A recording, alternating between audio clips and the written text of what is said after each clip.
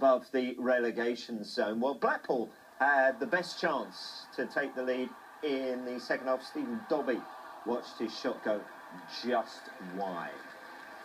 And that miss proved costly just minutes later. Charlton were in front. Marvin Sordell's pass met by Callum Harriott to put them 1-0 up after 60 minutes.